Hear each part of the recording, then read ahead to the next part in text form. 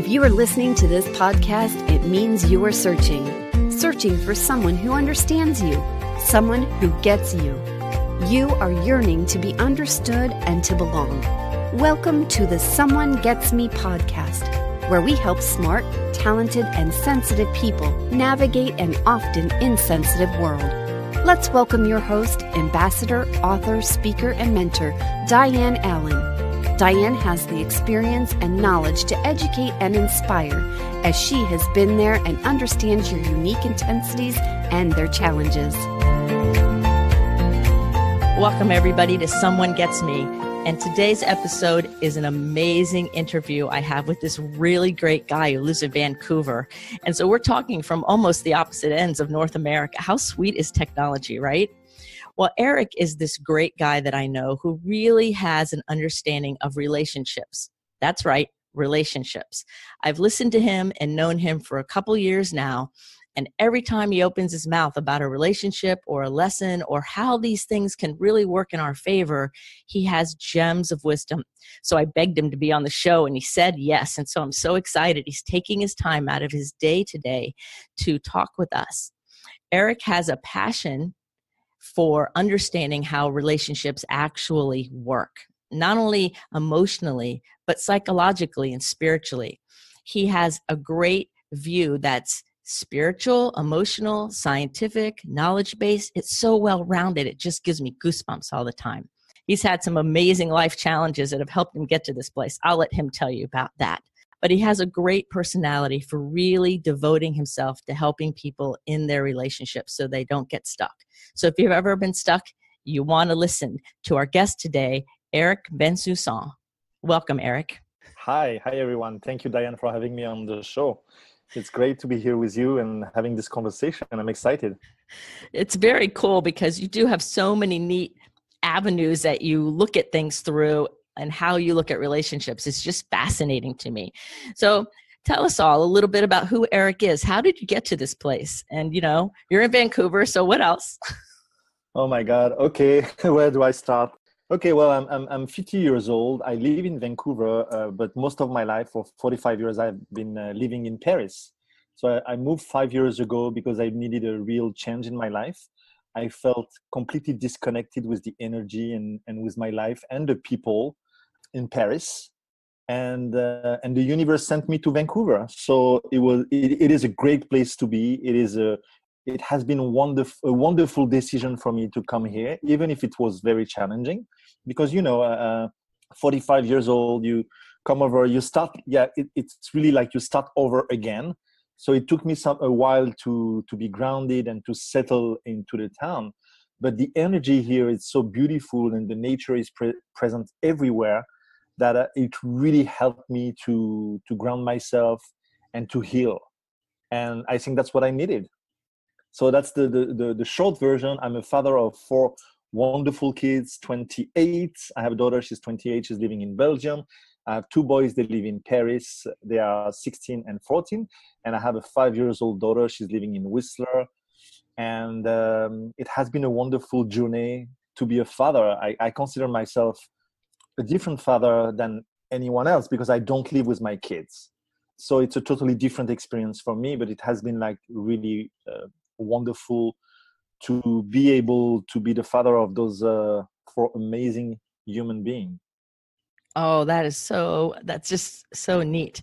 Moving across long distance to another country because it didn't feel right. So now I have to ask the question Is there ever a time in your life that you didn't, weren't understood or people didn't get you? You know, because sometimes I think those of us who are in these helping areas, we come out of it because we look around and like nobody gets us. And it sounds like you've mm-hmm. experienced that on like a huge scale. Oh my God! All most of my life, I felt that way. You know, I I, I grew up in a, I grew up thinking that I was different from from people. I grew up uh, thinking that my parents didn't get me, uh, and, and, growing up with um, with a sense of I don't know if I belong here. You know, uh, I don't know if I'm adequate adequate to the to this lifetime. Uh, is it for me? And whenever I, I went through challenges in my life, there was always this question coming to me and saying well maybe this is not this is not for you. This lifetime is not for you. And maybe there is really something wrong with you eric. So most of my life i felt disconnect i mean yeah disconnected and and different. And my ex- and my experience was uh, was different than um, anyone else until i got to a point in my life where i went through so many challenges that i thought well maybe eric maybe there is nothing wrong with you. What if you start with that new thoughts and let's see what we can do with that? And that was one of the turning point in my life. Oh that's brilliant because i tell everyone you know it's like people might be labeling things wrong with you but what if it's the thing that's right with you? Exactly that's that's an amazing amazing thing. What an epiphany you know that you came to to then start seeing you do have a lot of value and you're right where you're supposed to be. And just because they don't understand you that's them not you. But we don't know that when we're younger. We don't know absolutely. That. absolutely. Yeah. So you work now to currently in in your practice with helping um, people with dealing with relationships in different ways. And you're a transformational relationship coach so unpack that for us. Are we talking about divorces, marriages, brother sister, any relationship? What kinds of things do you, are you referring to here? Because I I love that title. Just already talking to you, I'm sure everyone can hear your great amazing ability for transformation, but tell us about it. Okay, so one thing that I love to say is the core the core of my work, the way you feel about yourself creates your life experience so the relationship you have with yourself sets the tone for every other relationship you have. So when I when I talk about relationship, it's it's everything. Okay, it's a relationship with a partner, it's a relationship with parents, relationship with your kids, but it can also be relationship with money, can be relationship with uh, Mother Nature, because I think everything is about relationship. And my experience in, in this lifetime is really that there is nothing else like relationship where you can learn about yourself when you can unravel uh, your true personality. And when and, and and as we go from one challenge to another this is where we get closer to our personality and to i don't like to say who we truly are because i think we it's a bit um, a lot of people use that but you know you get closer to the core of what you're supposed to be and what you're supposed to do in this lifetime. So that, that yeah so so I, I coach individual i coach couples. People uh, going uh, through every phase in relationship. It can be just improving relationship improving communication but it can also be overcoming a divorce overcoming an emotional challenge through a relationship. Oh that covers so, so yeah, many things. Yes that, that covers so many things. Uh, the, the thing is it, it's also related to my to my story because uh, i have to mention that i have been myself married and divorced three times. So of course that shapes a lot uh, the work that i do. Because um, i came to a point in my life where those challenges have have been a blessing in my life. But of course when i was going through that challenges at that time it felt like i was hurt I was uh, in pain. I was uh, lost.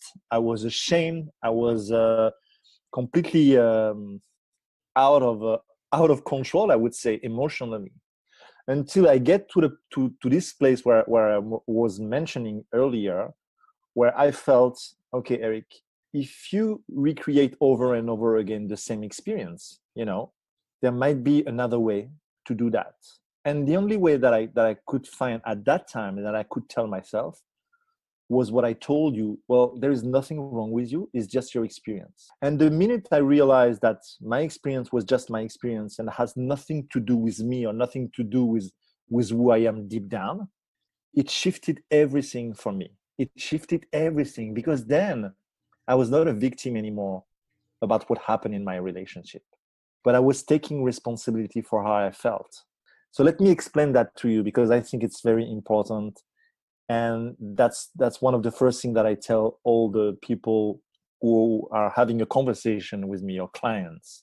When you break up or when you have a challenging relationship, you know, you get triggered, triggered, right? Mm-hmm. And you think, oh, she did that, he did that, and you blame others for how you feel right one of the biggest realization in my life was to understand that when i get triggered it has nothing to do with the situation and has nothing to do with my partner my mother my friend whoever is involved in the situation. Everything has to do with me and everything has to do with how i feel about myself. So of course i have some emotional ones from my um, childhood and i carry that. And maybe i carry that also from other lifetime you know what i mean and the minute you consider that the minute you take that that perspective well then you have no other choice to take full responsibility for how you feel. So nobody can make you feel bad or nobody can make you feel happy but you have the power and you have the the choice to choose how you want to feel. And of course this is where the transformation comes from. It's where when you decide that you're going to take full responsibility you're not going to blame anyone or any life or any challenges but you're going to take everything as an opportunity. And that's what i did. And seriously it has changed my life like i would never imagine so. And so many people are trying not to take responsibility.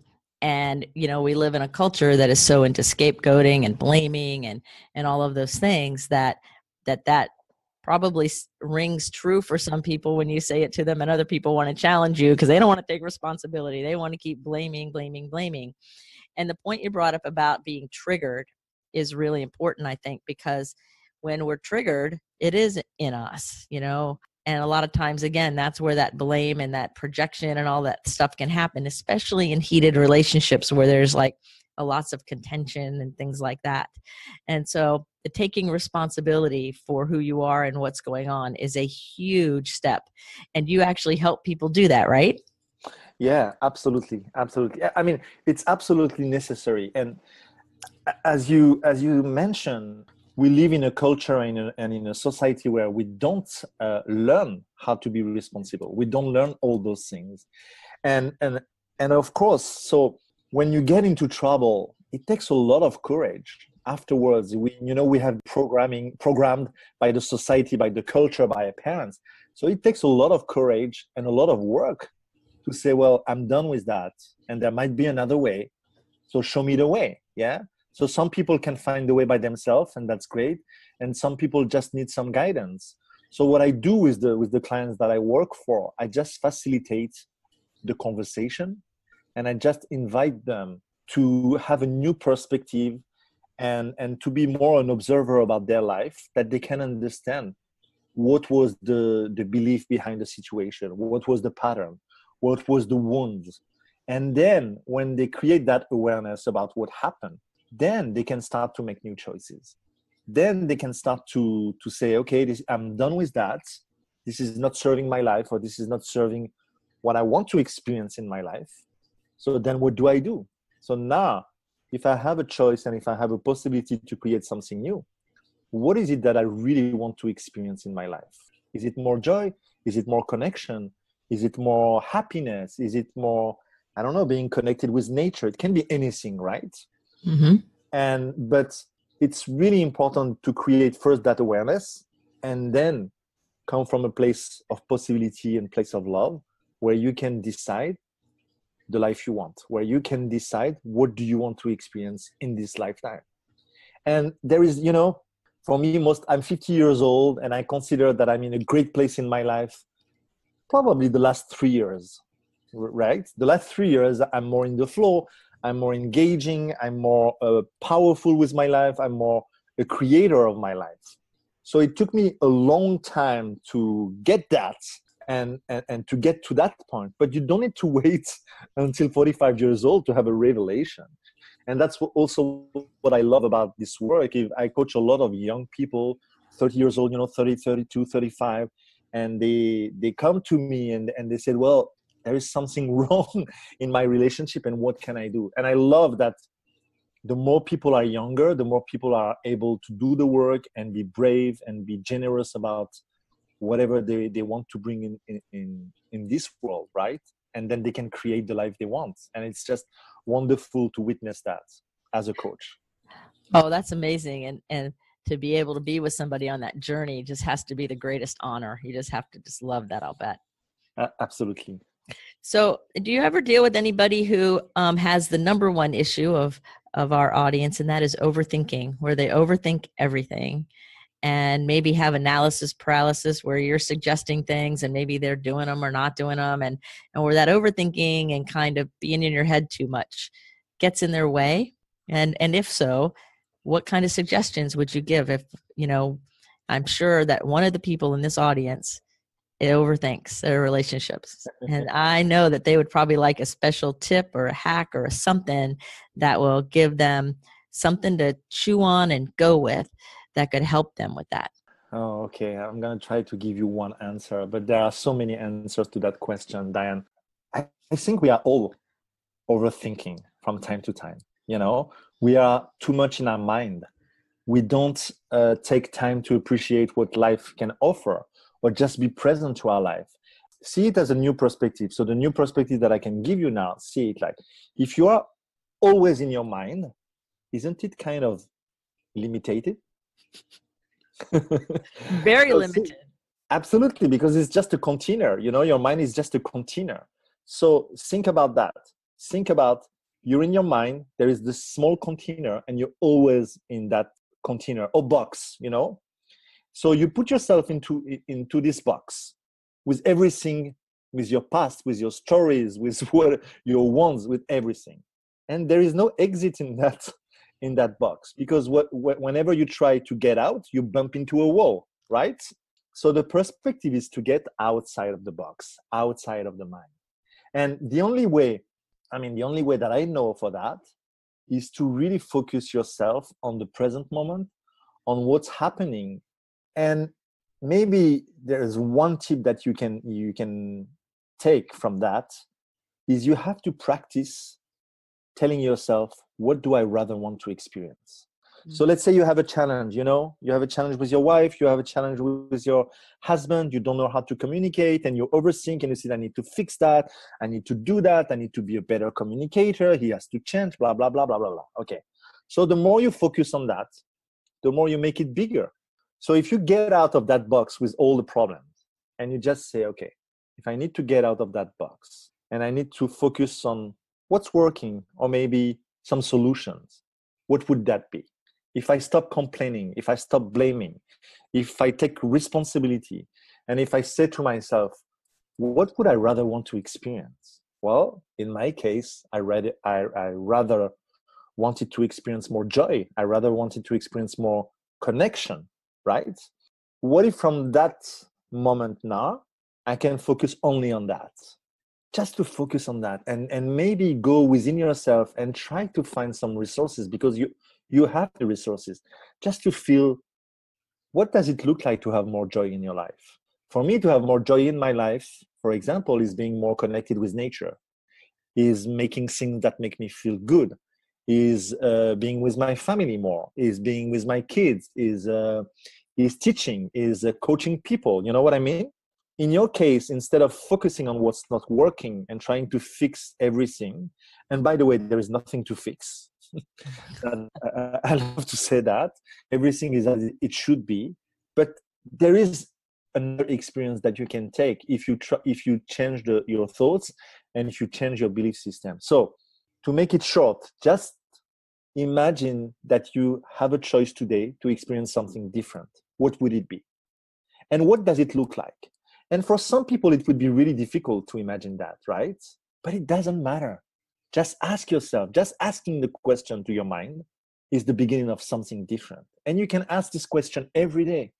And if you don't have any answers for that, and if you don't know what, what does it look like to have more joy or what does it look like to be happy, it doesn't really matter but if you change the inner dialogue with yourself, at some point when you will feel ready, the answers will come. Really focus yourself on appreciation. That's one thing that I learned in my life. The more you appreciate life, the more you appreciate whatever, you know, it's just, you know, right now, before the this talk, I made myself a, a coffee and I, I bought a mug and this mug is there is a some words on the mug and it's a hug in a mug just that you know i look at this mug and it makes me feel happy and I, and I take my coffee and I just like it. I just love this moment, you know. And when I'm focusing on what's what I appreciate right now in that moment, there is no past, there is no future. It doesn't exist. It's just this moment right now. Even if I have the most challenging time in my life, I was just focus on that. And that appreciation will help me to focus on the next appreciation. Then if I look around my here, I am so I am in my apartment here and I can see through the through my window and I can see I have pines and I have sometimes some uh, squirrels coming and some birds. I just focus on that and it's wow, this is beauty. I love that. So the more I focus on the things that makes me feel good or that I can appreciate, the less the voice in your head that wants you to overthink gets louder. So what I want to tell people, it's a practice. It's not like you're gonna you're gonna you're gonna get it like right away, bam, and it's done. No, it's a practice, and it's a lifetime practice. It's a way of living, Dianne. But I'm sure you know that, and, and I'm sure you we, we already had conversation around that. It's a lifetime practice. So whenever you feel yourself, I'm overthinking, I'm I'm, I'm going back to that pattern slow down, breathe, and then go back to what you appreciate. Go back to the present moment. What's happening now? And in that present moment, am I safe? Yes, I'm safe. Nothing can happen in one second, right? It's it's really a practice, and it's really and being also very compassionate with yourself because I remember a time in my life where where I was so much in my mind that I would hate that.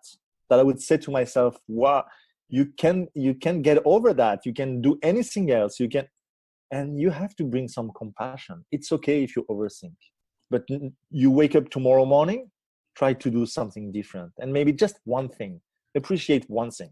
And maybe the next day you go back to overthinking that's okay bring love to yourself bring compassion and then get back to the practice. Yeah that's that's one thing that i can tell people that i can assure you that if you practice that on a daily basis with love, with compassion, I mean, in less than three months, you would feel like so much improvement and so much progress. And I'm sure you'll agree with me, Dianne. Yes, and and I think the other thing that's really important that you're saying is the practice is important, but doing it with love and compassion. That it's not about practicing or trying to change because there's something wrong or beating ourselves up or being negative. And what you've just said in the last five minutes was genius and mm-hmm. it was very well said and i believe it too i agree with you that it's all about the practice and it's about appreciating and having compassion and we got to love ourselves and have compassion for ourselves you know we're on this human journey doing all of us doing the best we can and so somewhere we have to put down that baseball bat and and i love your message because your message is empowering and helping people see that that baseball bat doesn't really have room if you want to transform and grow and be all you're meant to be. So when we have a heart's desire trying to come up, being all negative isn't going to work. So I, I think what you said is very valuable and I and I um and powerful too, especially for the young people. I'm glad young people are seeking you out. So maybe in some levels you're almost more of a mentor than just a coach, you know, because um, there's more to what you're doing as far as that goes. So that's that's wonderful. Yes, yes, absolutely. And maybe one more thing that I, that I can add to that is there there is no perfection. So don't try to be perfect. You know, don't try to. There is no right or wrong way to be appreciative. You know, whatever you do is okay, and it, and it's enough.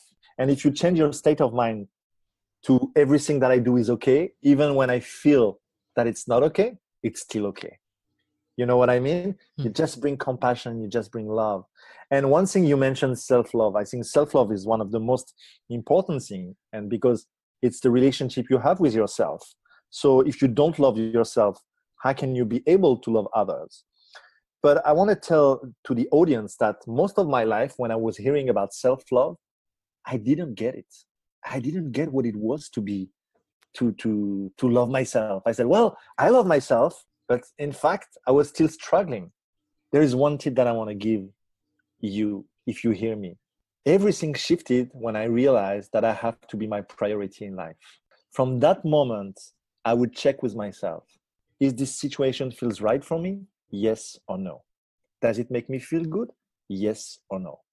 So this is something that really, really helped me, especially uh, when I was in the midst uh, uh, uh, of the chaos of my um, my relationship. You know, it was to come back to what matters to me and what works for me.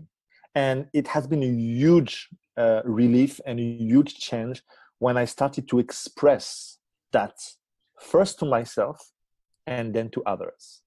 And the one thing that I also want to tell people you have to surrender. So what is surrendering? it's very difficult to describe because it's it's mostly an experience. But surrendering is trusting that whatever you do and whatever you're going through is okay. And you don't have to fix that. You just have to be okay with what's happening. Be okay with your experience. Be okay with who you are now. And always remember one thing that I learned from Don Miguel Ruiz, who wrote the, the Four Agreements. Remind yourself that you always do your best. Mm-hmm. And your best today will be different than your best tomorrow. That's true. Doing our best. And that leads me into my next little part of conversation here, and that is procrastination.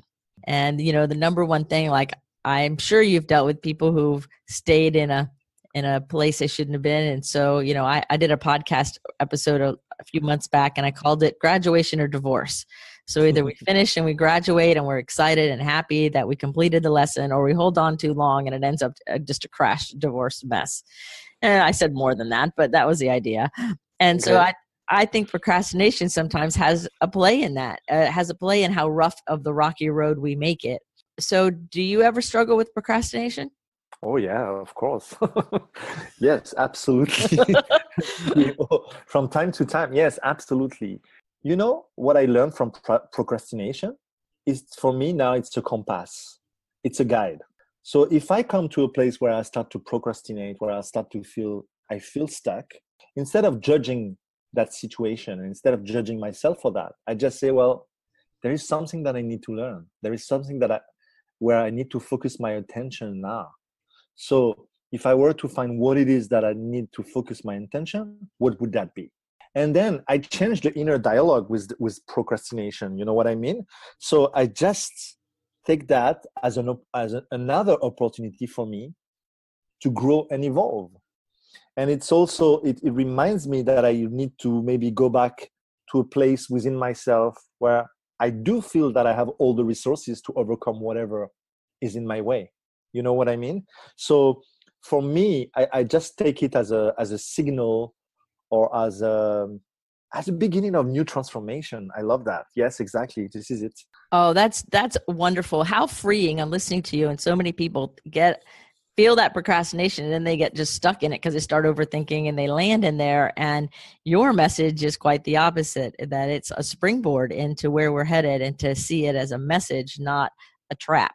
So that another wonderful nugget. You are sharing so many wonderful things with us today. Thank you so much. It's like oh my gosh the next question how cool is that? And the next question um, that i would like you to share if, with us is if there's any certain client that you've helped maybe over time that you would like to kind of share their story obviously keeping their names confidential but a success story or a process maybe that you took someone through. A lot of people who are highly sensitive and aren't understood have real difficulty with relationships and for lots of reasons but one of them is that sensitivity. And and i think sometimes when they get stuck in the pain or they don't really know what to do next there's a lot of confusion. So i'm wondering if you could kind of give just a brief example of a success story of somebody that you worked with or a couple or whoever where you were able to help them kind of get through the dark times and begin to see the light and especially see their own value. Yes absolutely. You know um, i don't think about the specific clients um, about that. But here's the thing. Here's what i can say uh, about that. When you feel the pain and when you feel the hurt it has to be felt. You have to stop resisting about that. And this is one of the things that i teach to all of my clients whether they are in a relationship whether they, they broke up is you have to be okay with the hurt and the pain. So what does it mean? It means that the pain and the hurt is here to teach you something.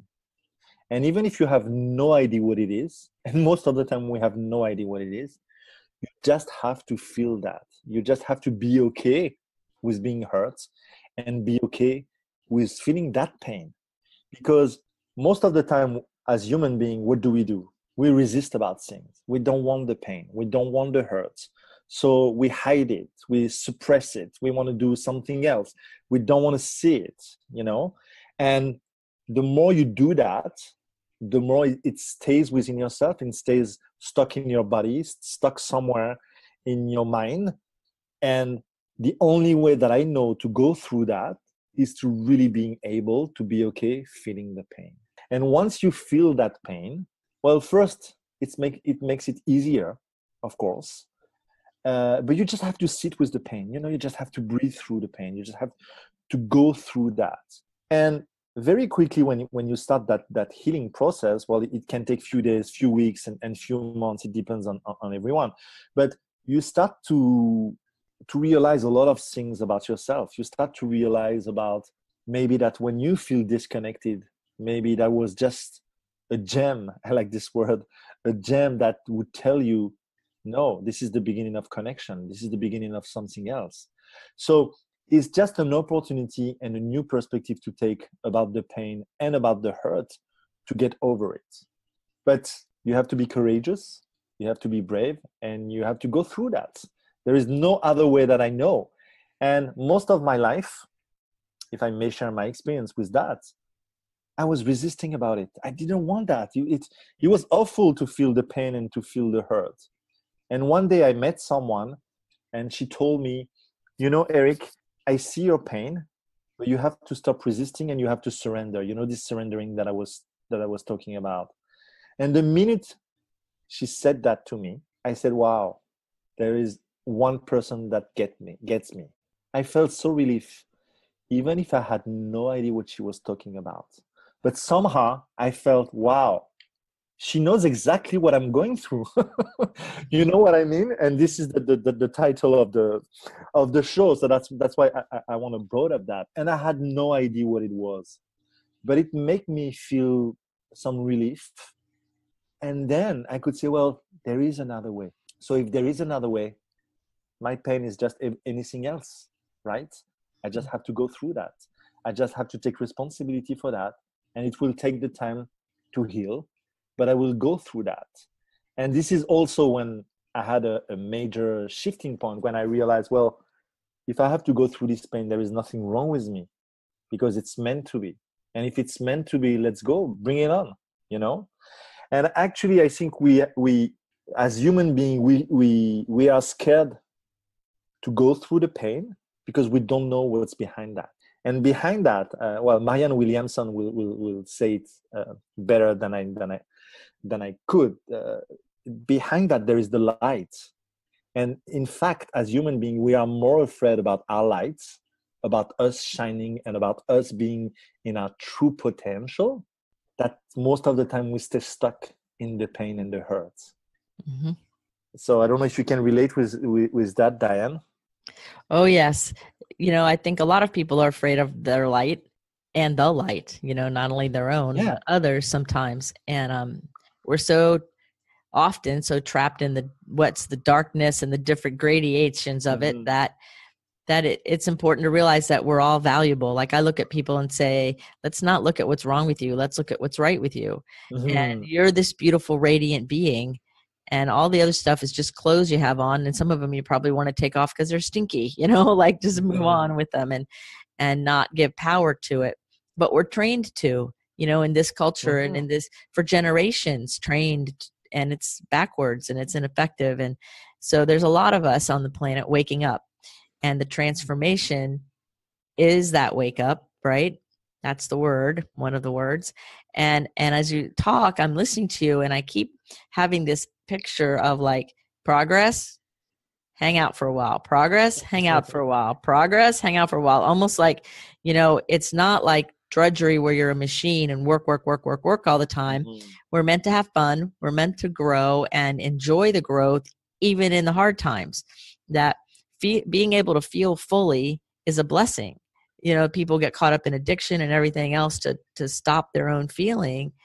are like the walking dead and they're missing life. They're missing what life is all about. It takes all of it to make it rich and full, you know? So I, I love what you're saying about transformation and how you see it.